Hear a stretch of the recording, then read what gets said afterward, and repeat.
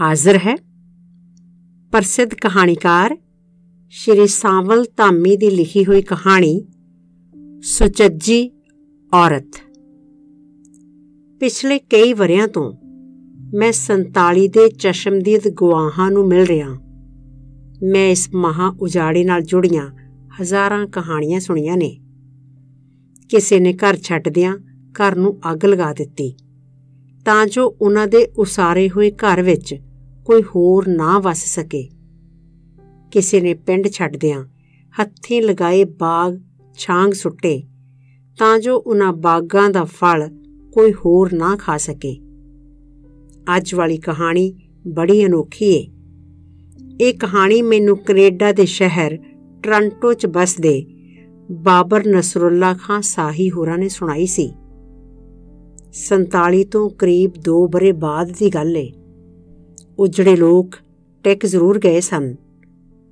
ਉਹਨਾਂ ਨੂੰ ਮੁੜ ਤੋਂ ਬਸਣ ਲਈ ਤਾਂ ਸ਼ਾਇਦ ਜ਼ਿੰਦਗੀ ਵੀ ਥੋੜੀ ਸੀ। ਸਿਆਲਕੋਟੀਆਂ ਨੂੰ ਗੁਰਦਾਸਪੁਰ ਅਤੇ ਹੁਸ਼ਿਆਰਪੁਰ ਜ਼ਿਲ੍ਹੇ ਮਿਲੇ ਸਨ।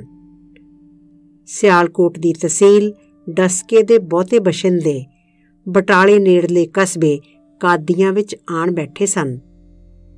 ਪਾਕਿਸਤਾਨ ਦੇ ਪਹਿਲੇ ਵਿਦੇਸ਼ ਮੰਤਰੀ ਚੌਧਰੀ ਸਰ ਮੁਹੰਮਦ ਜ਼ਫਰੁੱਲਾ ਖਾਨ ਸਾਹੀ ਕਾਦੀਆਂ ਆਏ। ਉਹ ਜਿਸ ਗੈਸਟ ਹਾਊਸ ਵਿੱਚ ਠਹਿਰੇ ਹੋਏ ਸਨ ਉਸ ਦੇ ਮੁੱਖ ਦਰਵਾਜ਼ੇ ਤੇ ਇੱਕ ਔਰਤ ਆਈ। ਉਹ ਸਾਹੀ ਹੋਰਾਂ ਨੂੰ ਮਿਲਣਾ ਚਾਹੁੰਦੀ ਸੀ। ਸੰਤਰੀ ਨੇ ਹੈਰਾਨੀ ਨਾਲ ਪੁੱਛਿਆ, ਬੀਬੀ, ਤੂੰ ਮੰਤਰੀ ਸਾਹਿਬ ਨੂੰ ਜਾਣਦੀ ਏ? ਪੁੱਤਰੋ, ਮੇਰੇ ਦਿਓਰ ਜੀ ਨੇ। ਔਰਤ ਨੇ ਮਾਣ ਨਾਲ ਮੁਸਕਰਾਉਂਦਿਆਂ ਜਵਾਬ ਦਿੱਤਾ। ਉੱਥੇ ਮੌਜੂਦ ਬਹੁਤੇ ਲੋਕ ਹੱਸ ਪਏ।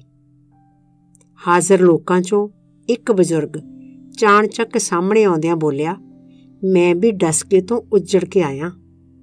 ਤੁਸੀਂ ਨਹੀਂ ਜਾਣਦੇ ਇਹ ਔਰਤ ਕੌਣ ਹੈ?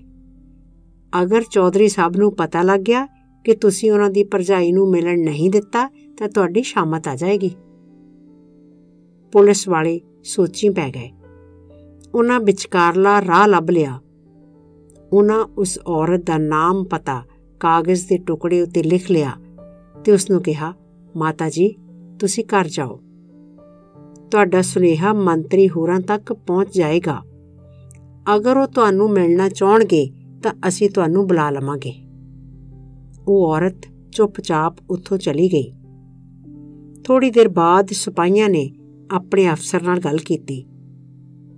ਉਹ ਪੁਲਿਸ ਅਫਸਰ ਮੰਤਰੀ ਹੋਰਾਂ ਕੋਲ ਪਹੁੰਚਿਆ। ਉਹਨਾਂ ਨੂੰ ਦੱਸਿਆ ਕਿ ਕੋਈ ਔਰਤ ਤੁਹਾਨੂੰ ਮਿਲਣਾ ਚਾਹੁੰਦੀ ਹੈ। ਮੰਤਰੀ ਹੋਰਾਂ ਉਸ ਔਰਤ ਦਾ ਨਾਮ ਪੁੱਛਿਆ ਤਾਂ ਅਫਸਰ ਬੋਲਿਆ, ਸੁਣਿਆ ਹੈ ਉਹ ਡਸਕੇ ਦੇ ਜੈਲਦਾਰ ਤਾਰਾ ਸਿੰਘ ਦੀ ਪਤਨੀ ਹੈ ਇਹ ਸੁਣਦਿਆਂ ਮੰਤਰੀ ਹੋਰੀ ਉੱਠ ਖੜੋਤੇ। ਅਗਰ ਤੁਹਾਡਾ ਹੁਕਮ ਹੋਵੇ ਤਾਂ ਉਹਨੂੰ ਘਰੋਂ ਬੁਲਾ ਲੈਂਦੇ ਆ। ਅਫਸਰ ਨੇ ਘਬਰਾਉਂਦਿਆਂ ਪੁੱਛਿਆ, ਕੀ ਕਹਿ ਰਹੇ ਹੋ? ਜ਼ਫਰੁੱਲਾ ਖਾਨ ਸਾਹੀ ਨੇ ਉਦਾਸੀ ਭਰੀ ਤਲਖੀ 'ਚ ਗੱਲ ਸ਼ੁਰੂ ਕੀਤੀ, ਮੇਰੇ ਵੱਡੇ ਭਰਾ ਸਰਦਾਰ ਤਾਰਾ ਸਿੰਘ ਦੀ ਬੇਗਮ ਮੈਨੂੰ ਮਿਲਣ ਲਈ ਆਏਗੀ। ਇਹ ਕਿਵੇਂ ਹੋ ਸਕਦਾ? ਮੈਂ ਖੁਦ ਉਹਨਾਂ ਨੂੰ ਮਿਲਣ ਜਾਵਾਂਗਾ। ਮੈਨੂੰ ਉਹਨਾਂ ਦੇ ਘਰ ਲੈ ਚੱਲੋ। ਸੁਰੱਖਿਆ ਦਸਤਾ ਸਰਗਰਮ ਹੋ ਗਿਆ। ਗੱਡੀ ਸਟਾਰਟ ਹੋ ਗਈ। ਸਾਹੀ ਹੋਰਾਂ ਆਖਿਆ ਕਿ ਉਹ ਆਪਣੀ ਭਰਜਾਈ ਨੂੰ ਮੰਤਰੀ ਦੀ ਹੈਸੀਅਤ 'ਚ ਨਹੀਂ, ਸਗੋਂ ਦਿਓਰ ਦੀ ਹੈਸੀਅਤ 'ਚ ਮਿਲਣ ਲਈ ਜਾਣਾ ਚਾਹੁੰਦੇ ਨੇ।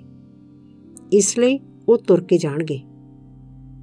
ਤੁਰਦੇ ਤੁਰਦੇ ਉਹ ਉਸ ਔਰਤ ਦੇ ਘਰ ਮੂਰੇ ਪਹੁੰਚ ਗਏ। ਅਫਸਰ ਦਰਵਾਜ਼ੇ ਤੇ ਦਸਤਕ ਦੇਣ ਲੱਗਾ ਤਾਂ ਸਾਹੀ ਹੋਰਾਂ ਉਹਨੂੰ ਹੱਥ ਦੇ ਇਸ਼ਾਰੇ ਨਾਲ ਰੋਕ ਦਿੱਤਾ। ਉਹਨਾਂ ਖੁਦ ਦਸਤਕ ਦਿੱਤੀ। ਕੁਝ ਪਲਾਂ ਬਾਅਦ ਇੱਕ ਬੁੱਢੀ ਔਰਤ ਨੇ ਦਰਵਾਜ਼ਾ ਖੋਲ੍ਹਿਆ। ਸਾਹਮਣੇ ਚੌਧਰੀ ਸਰ ਮੁਹੰਮਦ ਜ਼ਫਰੁੱਲਾ ਖਾਨ ਸਾਹੀ ਨੂੰ ਖੜੋਤਾ ਵੇਖਿਆ ਤਾਂ ਉਹ ਖੁਸ਼ੀ 'ਚ ਰੋ ਪਈ।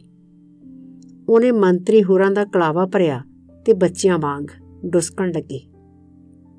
ਕੁਝ ਪਲਾਂ ਬਾਅਦ ਉਹ ਸੰਭਲੀ ਤੇ ਸਾਹੀ ਹੋਰਾਂ ਨੂੰ ਮੰਜੇ ਤੇ ਬੈਠਣ ਲਈ ਉਸ ਆਖਿਆ, ਸਾਹੀ ਹੋਰਾਂ, ਖਸਤਾ ਹਾਲ ਮਕਾਨ ਦਾ ਜਾਇਜ਼ਾ ਲਿਆ। ਤਾਰਾ ਸਿੰਘ ਦੀ ਡਸਕੇ ਵਾਲੀ ਮਹਿਲਨੁਮਾ ਹਵੇਲੀ ਨੂੰ ਯਾਦ ਕੀਤਾ। ਇੱਕ ਠੰਡਾ ਹੌਕਾ ਭਰਿਆ ਤੇ ਅਲਾਣੇ ਮੰਜੇ ਤੇ ਬੈਠ ਗਏ। ਔਰਤ ਨੇ ਅੱਖਾਂ ਪੁੰਝੀਆਂ ਸਾਹੀ ਹੋਰਾਂ ਦੇ ਘਰ ਪਰਿਵਾਰ ਦਾ ਹਾਲ ਪੁੱਛਿਆ। ਆਪਣੇ ਉੱਜੜ ਕੇ ਆਉਣ ਦੀ ਬਿੱਥਿਆ ਸੁਣਾਈ। ਉਹ ਕੁਝ ਦੇਰ ਦੋਵੇਂ ਭਰੇ ਦਿਲ ਤੇ ਅੱਖਾਂ ਨਾਲ ਬੀਤੇ ਦੀ ਰਾਖ ਫਰੋਲਦੇ ਰਹੇ। ਫਿਰ ਉਹ ਔਰਤ ਉੱਠ ਪਈ। ਉਸ ਔਰਤ ਨੇ ਚੁੱਲ੍ਹੇ 'ਚ ਅੱਗ ਬਾਲੀ, ਦੁੱਧ ਗਰਮ ਕੀਤਾ। ਕੰਗਣੀ ਵਾਲਾ ਗਲਾਸ ਨੱਕੋ ਨੱਕ ਭਰਿਆ ਤੇ ਸਾਹੀ ਹੋਰਾਂ ਨੂੰ ਉਸਨੇ ਫੜਾ ਦਿੱਤਾ। ਸਾਹੀ ਹੋਰੀ ਖਾਣ ਪੀਣ ਦੇ ਪੂਰੇ ਪੂਰੇ ਪਾਬੰਦ ਵਿਅਕਤੀ ਸਨ। ਉਹਨਾਂ ਕੁਝ ਦੇਰ ਪਹਿਲਾਂ ਦੁਪਹਿਰ ਦਾ ਖਾਣਾ ਖਾਦਾ ਸੀ, ਪਰ ਉਹ ਆਪਣੀ ਪਰਜਾਈ ਨੂੰ ਨਾ ਨਹੀਂ ਸਨ ਕਰ ਸਕਦੇ। ਉਹਨਾਂ ਪਹਿਲੇ ਘੁੱਟ 'ਚ ਮਹਿਸੂਸ ਕਰ ਲਿਆ ਸੀ ਕਿ ਦੁੱਧ ਡਾਢਾ ਮਿੱਠਾ ਏ। ਉਹ ਸ਼ੂਗਰ ਦੇ ਮਰੀਜ਼ ਸਨ, ਪਰ ਉਹ ਆਪਣੀ ਪੁਰਾਣੀ ਸਾਂਝ ਦਾ ਮਾਣ ਨਹੀਂ ਸਨ ਤੋੜ ਸਕਦੇ। ਉਹਨਾਂ ਦੁੱਧ ਪੀਤਾ ਤੇ ਆਪਣੀ ਭਰਜਾਈ ਨੂੰ ਆਖਿਆ ਭੈਣ ਮੇਰੀਏ ਅਗਰ ਤੂੰ ਚਾਹਵੇਂ ਤਾਂ ਮੁੜ ਡਸਕੇ 'ਚ ਆ ਸਕਦੀ ਏ। ਤੁਸੀਂ ਜਿਸ ਹਵੇਲੀ ਦੀਆਂ ਚਾਬੀਆਂ ਚੌਧਰੀ ਸ਼ਕਰੁੱਲਾ ਖਾਨ ਨੂੰ ਫੜਾ ਆਏ ਸੀ, ਉਹ ਹਵੇਲੀ ਅਸੀਂ ਤੁਹਾਡੇ ਲਈ ਮੁੜ ਤੋਂ ਖਾਲੀ ਕਰਵਾ ਲਵਾਂਗੇ। ਬਿਨਾਂ ਸ਼ੱਕ ਸਾਹੀ ਹੋਰਾਂ ਲਈ ਇਹ ਸਭ ਕੁਝ ਮੁਮਕਿਨ ਸੀ। ਪਰ ਹੁਣ ਉਸ ਔਰਤ ਦਾ ਡਸਕੇ ਵੱਲ ਪਰਤਣਾ ਗੰਗਾ ਨੂੰ ਹਰਦਵਾਰ ਤੋਂ ਗੰਗੋਤਰੀ ਵੱਲ ਮੋੜਨ ਵਾਲੀ ਗੱਲ ਸੀ। ਉਸ ਔਰਤ ਨੇ ਨਾ ਕਰ ਦਿੱਤੀ। ਲੋਡੇ ਵੇਲੇ ਸਾਹੀ ਹੁਰੀ ਵਾਪਸ ਗੈਸਟ ਹਾਊਸ ਵੱਲ ਮੁੜ ਆਏ। ਉਸ ਸ਼ਾਮ ਪੰਜਾਬ ਦੇ ਕੁਝ ਮੰਤਰੀਆਂ ਤੇ ਹੋਰ ਮੁਅੱਜ਼ਜ਼ ਵਿਅਕਤੀਆਂ ਨੇ ਸਾਹੀ ਹੋਰਾਂ ਨੂੰ ਰਾਤ ਦੇ ਖਾਣੇ ਦੀ ਦਾਵਤ ਕੀਤੀ ਹੋਈ ਸੀ। ਉਹ ਬੜੀ ਦੇਰ ਸਿਆਸਤ ਦੀਆਂ ਗੱਲਾਂ ਕਰਦੇ ਰਹੇ। ਰਾਤ ਦੇ ਖਾਣੇ ਤੋਂ ਠੀਕ ਪਹਿਲਾਂ ਸਾਹੀ ਹੋਰਾਂ ਆਖਿਆ, ਮੈਂ ਤੁਹਾਨੂੰ ਇੱਕ ਔਰਤ ਦੀ ਕਹਾਣੀ ਸੁਣਾਉਣੀ ਚਾਹੁੰਦਾ ਹਾਂ। ਸਾਰੇ ਲੋਕ ਜਾਣਚੱਕ ਖਾਮੋਸ਼ ਹੋ ਗਏ। ਸਾਡੇ ਡਸਕੇ 'ਚ ਤਿੰਨ ਜੈਲਦਾਰੀਆਂ ਸਨ। ਸਾਹੀ ਹੋਰਾਂ ਕਹਾਣੀ ਸ਼ੁਰੂ ਕੀਤੀ। ਪੁਰਾਣੇ ਡਸਕੇ ਦੇ ਜੈਲਦਾਰ ਸਰਦਾਰ ਤਾਰਾ ਸਿੰਘ ਸਾਹੀ, ਨਵੇਂ ਦੇ ਸਰਦਾਰ ਅਮਰ ਸਿੰਘ ਸਾਹੀ ਤੇ ਤੀਸਰੇ ਮੇਰੇ ਅੱਬਾ ਚੌਧਰੀ ਨਸਰੁੱਲਾ ਖਾਨ ਸਾਹੀ ਜੈਲਦਾਰ ਹੁੰਦੇ ਸਨ। ਇਹ ਤਿੰਨੋਂ ਇੱਕੋ ਖਾਨਦਾਨ ਨਾਲ ਸੰਬੰਧਿਤ ਸਨ। ਮੇਰੇ ਪੜਦਾਦੇ ਦਾ ਦਾਦਾ ਨਬਾਇਦਾਰ ਸਿੰਘ ਭੰਗੀਆਂ ਦੇ ਰਾਜ ਵੇਲੇ ਮੁਸਲਮਾਨ ਹੋ ਗਿਆ ਸੀ। ਉਹਦੇ ਭਰਾ ਸਿੱਖ ਹੀ ਰਹੇ ਤੇ ਇਹ ਦੋਵੇਂ ਸਿੱਖ ਜੈਲਦਾਰ ਅਗਾਹ ਉਹਨਾਂ ਦੀ ਔਲਾਦ ਸਨ। ਮਜ਼ਹਬ ਵੱਖਰੇ ਸਨ, ਪਰ ਲਹੂ ਇੱਕ ਸੀ। ਸੋ ਅਸੀਂ ਸਿੱਖ ਸਾਹੀਆਂ ਨਾਲ ਭਰਾਵਾਂ ਵਾਂਗ ਮਿਲਦੇ ਵਰਤਦੇ ਸਾਂ। ਸਰਦਾਰ ਤਾਰਾ ਸਿੰਘ ਜੈਲਦਾਰ ਦੀ ਕੋਈ ਔਲਾਦ ਨਹੀਂ ਸੀ। ਉਹ ਪਾਕਿਸਤਾਨ ਬਣਨ ਤੋਂ 8-10 ਬਰੇ ਪਹਿਲਾਂ ਫੌਤ ਹੋ ਗਏ ਸਨ। ਮੈਂ ਜਿਸ ਔਰਤ ਦੀ ਕਹਾਣੀ ਤੁਹਾਨੂੰ ਸੁਣਾਉਣ ਜਾ ਰਿਹਾ ਹਾਂ, ਉਹ ਤਾਰਾ ਸਿੰਘ ਜੀ ਦੀ ਬੇਗਮ ਹੈ 47 ਤੱਕ ਉਹ ਤਾਰਾ ਸਿੰਘ ਹੋਰਾਂ ਦੀ ਪੁਸ਼ਤੈਨੀ ਹਵੇਲੀ 'ਚ ਇਕੱਲੀ ਰਹਿੰਦੀ ਰਹੀ। ਉਸ ਹਵੇਲੀ ਦੇ ਦੁਆਲੇ ਬਹੁਤ ਵੱਡਾ ਬਾਗ ਸੀ। ਉੱਥੇ ਤਾਰਾ ਸਿੰਘ ਹੋਰਾਂ ਦਾ ਇੱਕ ਬੜਾ ਖੂਬਸੂਰਤ ਮੁਜੱਸਮਾ ਵੀ ਰੱਖਿਆ ਹੁੰਦਾ ਸੀ। 47 ਦਾ ਅਗਸਤ ਮਹੀਨਾ ਆ ਗਿਆ। ਦੁਨੀਆ ਉੱਜੜ ਰਹੀ ਸੀ। ਉੱਜੜ ਕੇ ਆ ਜਾ ਰਹੇ ਲੋਕ ਨਾ ਤਾਂ ਸਿਰਾਂ ਤੇ ਘਰ ਰੱਖ ਕੇ ਲਿਆ ਲਿਜਾ ਸਕਦੇ ਸਨ, ਨਾ ਘਰਾਂ ਦਾ ਸਾਰਾ ਸਮਾਨ।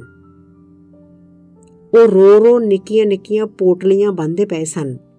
ਕੋਈ ਟੁੰਮਾ ਕੋਈ ਜ਼ੇਵਰ, ਕੋਈ ਆਪਣੇ ਪਿਆਰੇ ਦੀ ਖਾਸ ਨਿਸ਼ਾਨੀ। ਜਿਨ੍ਹਾਂ ਦਿਨਾਂ 'ਚ ਲੋਕ ਆਪਣੇ ਘਰਾਂ 'ਚੋਂ ਸਭ ਨਾਲੋਂ ਕੀਮਤੀ ਸਮਾਨ ਸਾਂਭ ਰਹੇ ਸਨ, ਉਸ ਵੇਲੇ ਇਸ ਔਰਤ ਨੇ ਆਪਣੀ ਹਵੇਲੀ 'ਚ ਬੰਦੇ ਬੁਲਾਏ। ਸਾਰੇ ਘਰ ਵਿੱਚ ਮਰਮਤਾਂ ਕਰਵਾਈਆਂ। ਸਾਰਾ ਘਰ ਸਫੈਦੀ ਕਰਵਾਇਆ, ਪੇਂਟ ਕਰਵਾਇਆ। ਸਾਹੀ ਹੋਰਾਂ ਦੇ ਬੋਲ ਭਾਰੇ ਹੋ ਗਏ। ਉਹ ਕੁਝ ਪਲਾਂ ਲਈ ਚੁੱਪ ਹੋ ਗਏ। ਮੈਂ ਇੰਗਲੈਂਡ ਦਾ ਪੜਿਆ ਵਾਂ। ਉਂਝ ਵੀ ਮੈਂ ਬੜੀ ਦੁਨੀਆ ਘੁੰਮੀ ਏ। ਉਹਨਾਂ ਗੱਲ ਅਗਾਹ ਤੋਰੀ। ਅੱਜ ਮੈਂ ਤੁਹਾਨੂੰ ਇੱਕ ਗੱਲ ਦਾਅਵੇ ਨਾਲ ਕਹਿ ਸਕਦਾ ਹਾਂ। ਦੁਨੀਆ ਦੀ ਸਭ ਨਾਲੋਂ ਸੁਚੱਜੀ ਔਰਤ ਇਸੇ ਕਸਬੇ, ਕਾਦੀਆਂ ਵਿੱਚ ਰਹਿ ਰਹੀ ਏ। ਸੁਣਨ ਵਾਲਿਆਂ ਦੇ ਮੂੰਹ ਅੱਡੇ ਗਏ। ਹਰ ਚਿਹਰੇ ਤੇ ਇੱਕੋ ਸਵਾਲ ਉਗਾਇਆ ਸੀ, ਉਹ ਕਿਵੇਂ? ਲੋਕਾਂ ਜ਼ੈਲਦਾਰ ਹੋਰਾਂ ਦੀ ਬੇਗਮ ਨੂੰ ਹੈਰਾਨੀ ਨਾਲ ਪੁੱਛਿਆ, ਬੀਬੀ ਸਰਦਾਰਨੀਏ, ਉੱਜੜ ਚੱਲੀ ਏ ਕੀ ਪਈ ਕਰਨੀ ਏ ਇੱਥੇ ਤਾਂ ਭੱਜ ਦੌੜ ਪਈ ਹੋਈ ਏ ਲੋਕ ਜਾ ਰਹੇ ਨੇ। ਤੂੰ ਘਰ ਦੀਆਂ ਮੁਰੰਮਤਾਂ ਕਰਾਉਂਦੀ ਪਈ ਏ। ਇਸ ਔਰਤ ਨੇ ਕਿਹਾ, ਮੇਰੇ ਜਾਣ ਬਾਅਦ ਮੇਰਾ ਜੇਠ ਚੌਧਰੀ ਸ਼ਕਰੁੱਲਾ ਖਾਂ ਇਸ ਘਰ ਵਿੱਚ ਜ਼ਰੂਰ ਆਏਗਾ। ਆਪਣੇ ਭਰਾ ਦਾ ਖਸਤਾ ਹਾਲ ਘਰ ਵੇਖ ਉਹਨੇ ਸੋਚਣਾ, ਮੇਰੀ ਭਰਜਾਈ ਤਾਂ ਕੁਚੱਜੀ ਸੀ। ਉਹਨੂੰ ਤਾਂ ਜਿਉਣ ਦਾ ਕੋਈ ਚੱਜ ਹੀ ਨਹੀਂ ਸੀ। ਉਹਨੇ ਤਾਂ ਆਪਣਾ ਘਰ ਠੀਕ ਢੰਗ ਨਾਲ ਨਹੀਂ ਸੀ ਰੱਖਿਆ ਹੋਇਆ। ਪਰ ਹੁਣ ਜਦੋਂ ਮੈਂ ਇਸ ਘਰ ਨੂੰ ਸੰਵਾਰ ਕੇ ਜਾਵਾਂਗੀ, ਤਾਂ ਉਹ ਇਹ ਤਾਂ ਜ਼ਰੂਰ ਕਹੇਗਾ ਕਿ ਮੇਰੀ ਪਰਚਾਈ ਸੁਚੱਜੀ ਸੀ। ਕਹਾਣੀ ਮੁਕਾਉਂਦਿਆਂ ਮੰਤਰੀ ਹੋਰਾਂ ਦਾ ਗੱਜ ਭਰ ਆਇਆ ਸੀ। ਇਸ ਕਹਾਣੀ ਨੂੰ ਸੁਣਨ ਵਾਲੇ ਹਰ ਸ਼ਖਸ ਦੀ ਅੱਖ ਨਮ ਹੋ ਗਈ ਸੀ। ਦੋਸਤੋ, ਇਹ ਸੀ ਕਹਾਣੀ ਸੁਚੱਜੀ ਔਰਤ।